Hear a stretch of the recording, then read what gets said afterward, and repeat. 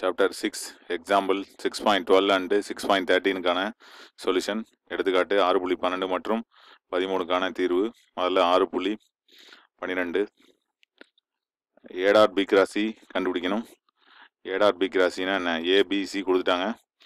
A dot B கிராசினா அது scalar முப்பெருக்கம். இப்போ scalar முப்பெருக்கம் எது? வெக்டர் முப்பெருக்கம் எது அப்படிங்கிறத நம்ம தெரிஞ்சுக்கணும். வரக்கூடிய ஆன்சர் வந்து ஒரு ஸ்கேலராக இருந்துச்சுன்னா அது வந்து ஒரு திசையிலே இருந்துச்சுன்னா அது வந்து ஒரு திசையிலி முப்பெருக்கம் அதாவது ஸ்கேலர் ட்ரிபிள் ப்ராடக்ட் வரக்கூடிய ஆன்சர் வந்து ஒரு வெக்டர்னா அது வெக்டர் முப்பெருக்கம் சில நேரத்தில் ரெண்டுமே வரக்கூட போகும். இப்போ உதாரணமாக A cross B dot C அப்படிங்கிறது உண்டா? வேற எந்த வகையில் எழுதலாம்?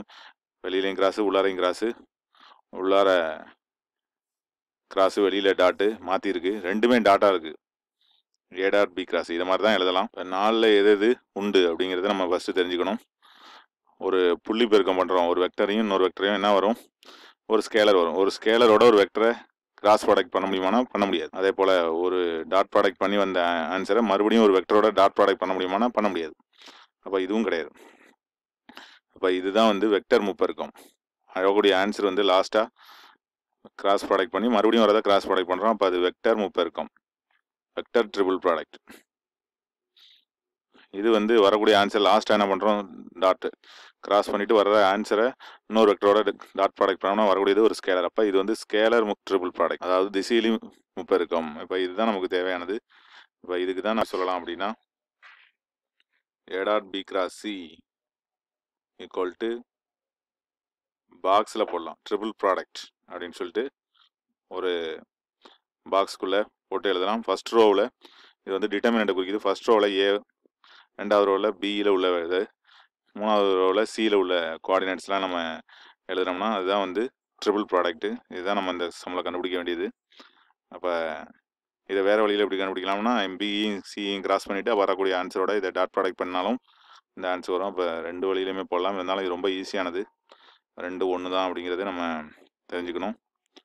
ஏங்கிறது minus three minus one plus five பிங்கிறது ஒன் மைனஸ் டூ ஒன் சிங்கிறது ஜீரோ ஃபோர் மைனஸ் ஃபைவ் இதை எக்ஸ்பேண்ட் பண்ணுறோம் minus three into ten minus four plus one into minus five minus zero plus five into four minus zero இப்போ வரக்கூடிய answer என்னென்னா minus three into டெனில் four பின்னா six plus one into minus five plus five into four இப்போ three six or eighteen minus five five fours are twenty அப்போ எவ்வளோ கிடைக்குன்னா twenty த்ரீல டுவெண்ட்டி போய்னா மைனஸ் த்ரீ கிடைக்குது. இதுதான் A dot B cross C இதை நம்ம வேற எப்படி கண்டுபிடிக்கலாம் அப்படின்னா ஆர்டினரியா ஃபர்ஸ்ட் பி கிராஸ் சி பியும் சியும் கிராஸ் ப்ராடக்ட் கண்டுபிடிச்சிக்கலாம். பி கிராஸ் சிங்கிறது என்ன? ஐ ஜே கே பியில் உள்ளது ஒன் மைனஸ் டூ ஒன் சியில் உள்ளது zero four minus five equal to I into ten minus four minus J into minus five minus zero plus K into four minus zero equal Daniil four போயிட்னா six அப்போ six I minus five தான் வரும். வெளியில் minus இருக்குது அப்போ plus K plus four K அப்படின்னு எழுதிடலாம். ஈஸியானதான் அது. அதனால் ரெண்டு மெத்தடுங்கிறது எல்லாருக்கும் தெரிஞ்சது தான் அது. ரெண்டு மெத்தட்னு இதை நம்ம சொல்ல வேண்டிய அவசியமே இல்லை. அடுத்தது ஏயோட இதை டாட் ப்ராடக்ட் பண்ணுறோம் அதனால் டைரெக்டாக போட்டுரும் B cross C equal to A dot B cross C ஏவோட இதை டாட் ப்ராடக்ட் பண்ணுறோம் ஏங்கிறது என்ன? Minus three minus one five இருக்குது. அப்போ அதை டாட் ப்ராடக்ட் பண்ணோம்னா என்ன கிடைக்கும்? மைனஸ் த்ரீ இன்ட்டு சிக்ஸு அதான் அந்த டைம் வந்துருச்சு பாருங்கள் இந்த டைம் தான் இதில் வரும். Minus three into six minus இருக்குது அப்போ minus one into five plus அடுத்தது ஃபைவ் இன்ட்டு ஃபோர் இது இது இப்போ minus eighteen five plus twenty அப்போ டுவெண்ட்டி த்ரீல டுவெண்ட்டி ஃபைவ்னா மைனஸ் த்ரீ அப்படின்னு கிடச்சிது. ரொம்ப ஈஸியாக கிடச்சிருது. இப்படியும் போகலாம் அப்படியும் போகலாம் ரெண்டுமே தெரிஞ்சுக்கிறது ரொம்ப நல்லது. இதில் ஃபஸ்ட்டு மெத்தடுங்கிறது ரொம்ப ரொம்ப அவசியமானது. ட்ரிபிள் ப்ராடக்ட் இந்த எக்ஸசைஸ்லேருந்து நம்ம தெரிந்து கொள்ளக்கூடியது இதுதான். அப்படிங்கிறது ரெண்டும் ஒன்று தாங்கிறத இந்த சம்லேருந்து தெரிஞ்சுக்கிறோம். அடுத்து சிக்ஸ் பாயிண்ட் தேர்ட்டின் போகிறோம் six point thirteen volume of the parallelepiped. ஒரு இணையர திண்மத்தின் கன அளவு கண்டுபிடிக்கணும். த்ரீ வெக்டர்ஸ் கொடுத்துருக்காங்க.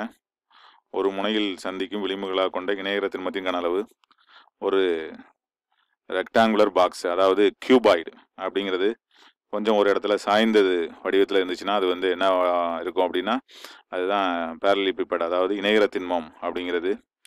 அதாவது ஒரு செவ்வகம் வடிவத்திலான ஒரு கன செவ்வகம் பாக்ஸ் வந்து ஒரு பக்கம் செங்குத்தா இல்லாமல் சாஞ்சிடுது. அப்படின்னா எல்லா பக்கமும் சாய்ந்த மாதிரி ஆகிடும் அப்போ அது வந்து கன செவ்வக பாக்ஸ் வந்து இல்லாமல் அது வந்து parallelepiped அதாவது இணையர திண்மமாக மாற்றப்படுகிறது. இணையர திண்மங்கிறது எப்படி இருக்கும்? அப்படின்னா இதான் அந்த த்ரீ வெக்டர்ஸ் வந்து இருக்கக்கூடிய parallelepiped இணையர திண்மம் அப்படிங்கிறது. இதில் ஏ பி அப்படிங்கிறது ரெண்டு வெக்டரு மூணாவது வெக்டர் வந்து கொஞ்சம் சாய்வாக இருக்குது இது வந்து கொஞ்சம் ஸ்ட்ரைட்டாக இருந்துச்சுன்னா இது வந்து என்ன ஆகிடும் பர்பண்டிகுலராக இருந்துச்சுன்னா அது வந்து இணைகிற திண்மம் கிடையாது. அது வந்து கன செவ்வகமாக மாறிடும். இதுதான் A cross B A cross பியோட ஏவுக்கும் பிக்கும் பர்பண்டிகுலர் டைரக்ஷனில் இருக்குது சிங்கிறது அதுக்கு ஸ்லைட்லி கொஞ்சம் டீட்டாங்கிற ஆங்கிளில் இருக்குது இதுதான் இணைகிற திண்மம். இப்போ இதுக்கு வேல்யூமுக்கு என்ன ஃபார்முலா அப்படின்னா A dot B cross C அதாவது ஸ்கேலர் ட்ரிபிள் ப்ராடக்ட் தான் இதுக்கு ஃபார்முலா அப்போது அதுக்கான வேல்யூமுக்கான ஃபார்முலா ட்ரிபிள் ப்ராடக்ட் ஏபிசி அப்போ ஏபிசியை பக்கங்களாக கொண்ட விளிம்புகளாக கொண்ட அப்படின்னு கொடுத்துருக்காங்க. எட்ஜஸ் ஆஃப் ஏ parallelepiped அதை கொடுத்துட்டாங்க. அதோட வேல்யூம் வந்து நம்ம கண்டுபிடிக்கணும். வேல்யூமுக்கான formula triple product ABC volume of parallelepiped இணையத்தின் மத்தியின் கன அளவு என்ன அப்படின்னா பாக்ஸ் ஏபிசி அல்லது A dot B cross C எது யூஸ் பண்ணிக்கலாம். அல்லது A cross B dot C ஏங்கிறது கொஸ்டினில் கொடுத்துருக்காங்க. ஏங்கிறது first vector two I minus three J plus four K பிங்கிறது I plus two J minus K சிங்கிறது vector three vector கொடுத்துட்டாங்க. அதனால் நம்ம வந்து அதை நம்ம அப்படியே யூஸ் பண்ணிக்கிறோம்.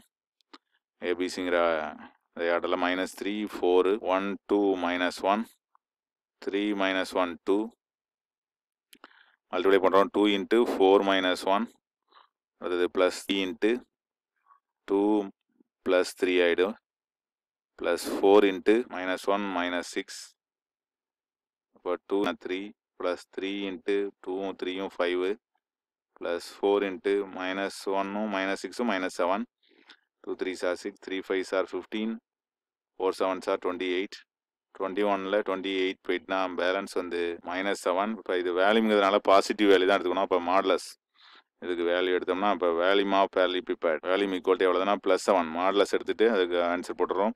இப்போ செவன் கியூபிக் யூனிட் அதாவது கன அளவு தேவையான இணைய திண்மத்தின் கன அளவு அப்படிங்கிறது ஏழு சதுர அலகுகள் அப்படின்னு சொல்லிட்டு நமக்கு ஆன்சர் கிடச்சிருது. இதுதான் அந்த சம்மு ரொம்ப ஈஸியான ஒரு சம்மு வேல்யூம் ஆஃப் parallelepipedக்கு ஃபார்முலா வந்து ட்ரிபிள் ப்ராடக்ட் ஏபிசி அப்படிங்கிறத தெரிஞ்சுக்கிறோம். அதில் இருக்கக்கூடிய த்ரீ வெக்டர்ஸ் ஏபிசி எப்படி இருக்குது அப்படின்னு பார்த்துக்கிறோம். ஏ கிராஸ் பி டைரக்ஷன் ஏவுக்கும் பிக்கும் பர்பனிலாக இருக்குது ஆனால் சிங்கிறது அதுக்கு பேரலாக இல்லை வேறு டைரக்ஷனில் இருக்குது அப்படிங்கிறத தெரிஞ்சுக்கிறோம். அப்படி ஏ கிராஸ் பியோட டைரக்ஷன்